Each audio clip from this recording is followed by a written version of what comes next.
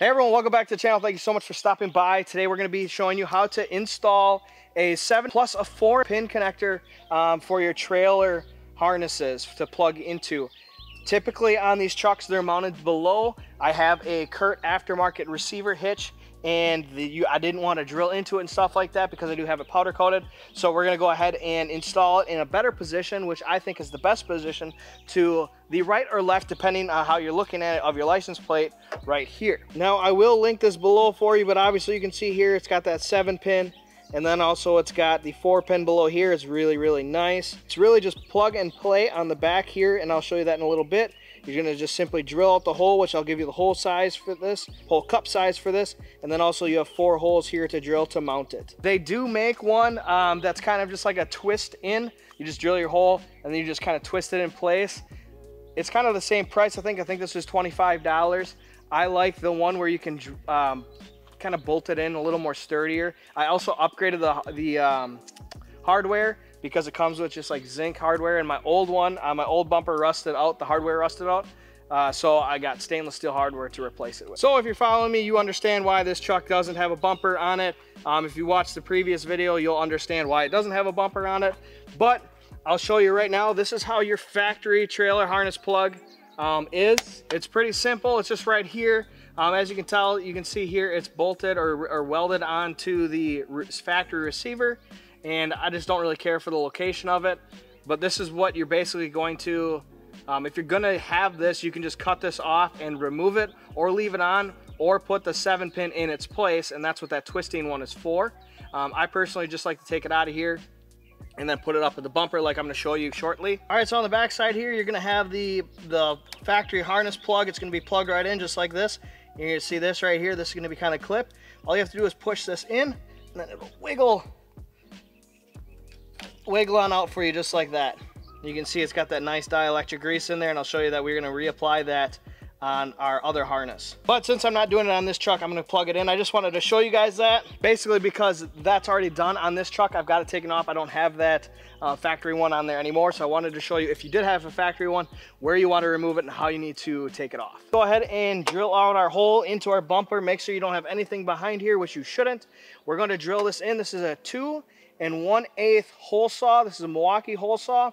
I will also say I really like these style hole saws with this almost like set screw type of connector, uh, set screw type of nut on it.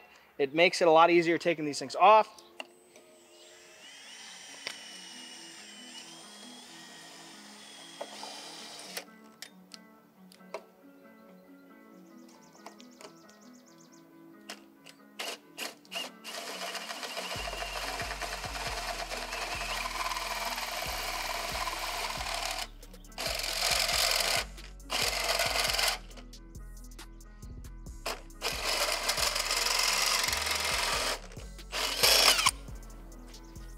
So here you can see it's nice and flush now.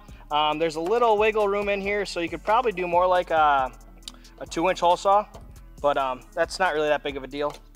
So next I'm gonna drill out my two holes. What's really nice about this is if you see here, so um, my replacements are M5 80 30.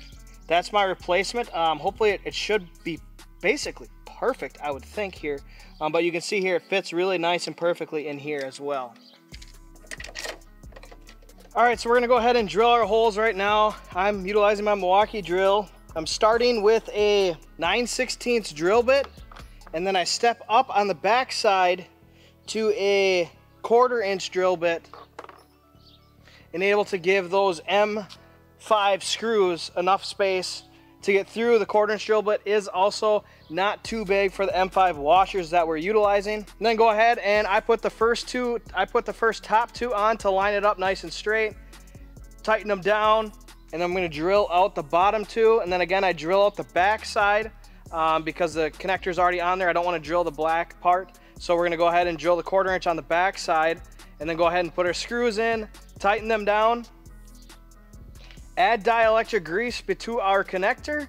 I personally use my own dielectric grease. I don't use what the typically is provided with anything. Um, put that on there, wipe it off, get it nice and clean, and then simply just go ahead and plug it in. Then of course, once you plug it in, you're gonna go ahead and wipe your hands off of the dielectric grease that you have on your hand. um, because man, that stuff gets kind of nasty. But here you go. That's what it looks like in its place. I'm happy with these. I've had one of these before on my old bumper before I got it repowder coated. It's really nice to have the four pin and the seven pin available and not have to run like a pigtail or anything like that. And this location is absolutely ideal. So here is the dielectric grease that I use at work and at home on an absolute daily basis. I do not use the prepackaged stuff that people send. Also, I'm not sure how good the focus is for you guys, but I do want to point this out. I use a nylon lock nut. Instead of your typical nuts uh, with like a lock washer, I like to use nylon lock nuts, especially when you're dealing with a lot of vibrations on the road and stuff like that. And then also um, for the M5, it's gonna be an eight millimeter socket, just so you know.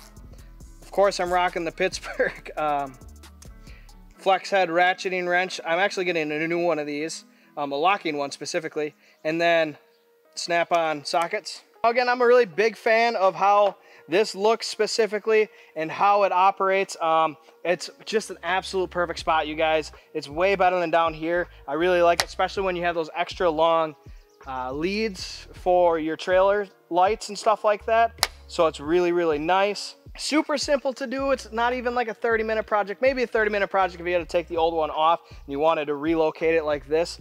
Um, I highly suggest that I'll leave a link below for this. Again, I used stainless steel hardware. I highly suggest swapping the hardware out that it comes with it, going to your local hardware store and finding what fits. Again, I used M5 um, 0.80 thread count with a 30, I think it's 30 millimeter length or 30 length is what I used. Um, I just got it from my local hardware store. That's It's really that simple. So thank you for watching this. It's Like I said, this is beyond simple and I highly suggest you guys doing it, especially those that deal with four pins a lot, bouncing between four pins and seven pins like I do myself. So I hope it just helped you a little bit. Make sure you go ahead and like this video, subscribe to the channel, and share the channel as well as we want to grow as quick as possible. We want to get to that 10,000 subscriber mark by the end of this year. So um, we've got a lot of big things coming here shortly. We're going to be doing the rockers, cab corners, all that really quickly. I just got a brand new piece of equipment that I'm very excited about. My very first ever. Um, so, and I've never done it before, so it's going to be interesting how this all works. So if you want to see what I've got coming up here real shortly, make sure you subscribe to the channel. So uh, thanks for watching.